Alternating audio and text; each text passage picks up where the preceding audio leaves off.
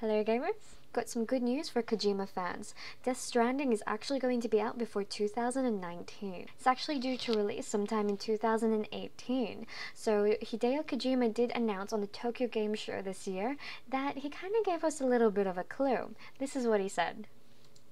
It will be out before the Olympics, said Kojima, referring to Tokyo 2020 Games. Then he went on to say, to go a little bit further, there is a movie called Akira and will be out before the year in which Akira is set. So the movie Akira is set in 2019, so before 2019, we're looking at maybe sometime within 2018, maybe towards the end of it, but we're not too sure. And if you haven't seen Akira, watch it.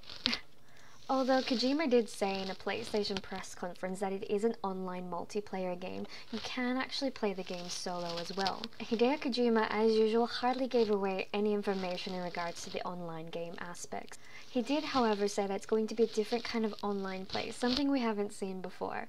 So when that when Hideo Kojima says that, you know it's going to be something completely different.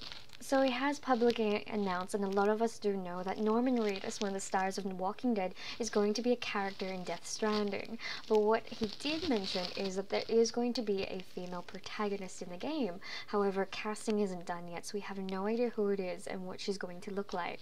Kojima also did say that he is going to be using a well-known third-party engine instead of a handcrafted one. So, um, we've seen pictures of him touring around the world and visiting different game companies. One of them is Frostbite, which maybe Frostbite does do amazing graphics. So Kojima was also joined on stage by Yoji Shinkawa, who is one of the character mechanical designers on Metal Gear Solid series. So he did kind of tease that they do want to see more of a mecha aspect on Death Stranding. So is it a teaser? Is it something that we could possibly see? Who knows? But um, knowing Kojima, there's subtle hints everywhere and whatever we think, it's probably not going to be anywhere close to what Death Stranding comes out to be. So that's a little bit of Death Stranding news for you all.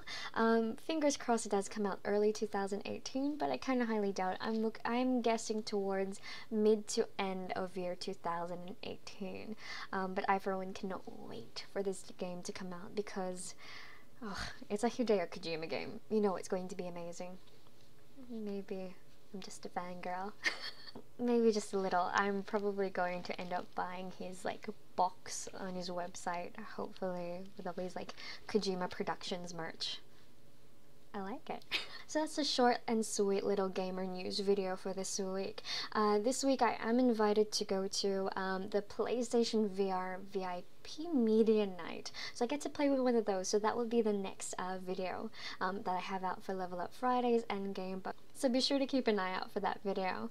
I'll definitely be recording on the night, and I'll record as much as I can, or as much as they allow me to. Sometimes they're very, very strict on what you can record, even on the screens, but we'll see. And if you like the video at least a little bit, make sure you hit that like button, comment below. Are you excited about this strand? Are you happy that it's going to be coming out sooner than 2019? Have you seen a Akira the movie. And make sure that you're subbed to Gamebugs channel so you don't miss out on any future videos. And I'll see you guys in the next one.